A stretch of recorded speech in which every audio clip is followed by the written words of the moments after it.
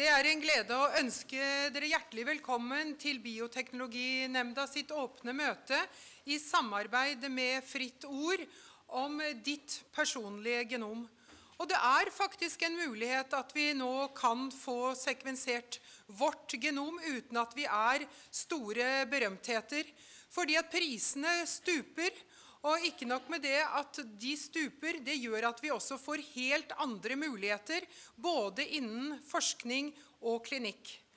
Ikke bare får vi mulighet til å gjøre ny forskning og ny behandling, men hver enkelt av oss kan få nå tilgang til å bruke denne nye kunnskapen, slik at vi selv faktisk også kan ta del i bruken av det til å forebygge, og forhåpentligvis dermed selv til å bidra til at vi får bedre helse ved å ta denne kunnskapen i bruk.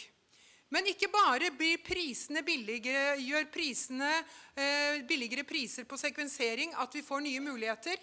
Men det betyr også at forskningen og klinikken må gjøres på en annen måte. Vi som eh, pasienter eller som forsøksdeltakere vi vil gjerne ha del i kunnskapen fortløpende. Og Derfor har det vært veldig morsomt i høst å se hvordan også når det gjelder samtykke og person, pasient- eller forskningsdeltakernes involvering, har det skjedd en dramatisk endring i høst. Det har vært veldig morsomt å se nå hvordan man snakker om involvering, deling, oppdatering og fornying av kunnskapsbasen om hver enkelt av oss. Men igjen, det er et samarbeid nå om forskning og om klinikk.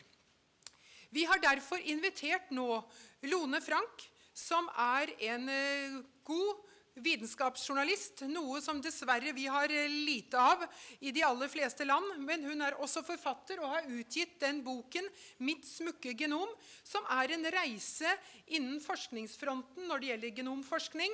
Men ikke minst er det morsomt med en stemningsrapport fra hvordan det er å ha sitt genom kartlagt. Og siden eh, Lone Frank selv har doktorgrad innenfor dette området, så er hun en relevant og en kritisk observatør av dette.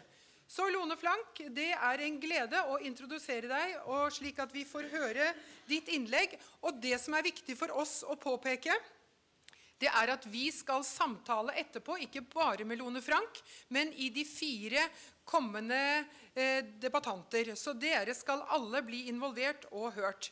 Jeg må også gjøre oppmerksom på at dette, dette, åpne møtet blir lagt ut på nett etterpå, slik at eh, det dere nå sier i dette åpne møtet, det må dere også ta hensyn til at ikke bare er dette et åpent møte som leves her og nå, men det blir også lagt på nett, slik at andre som ikke hadde mulighet til å komme her i dag, kan få lov til å være med.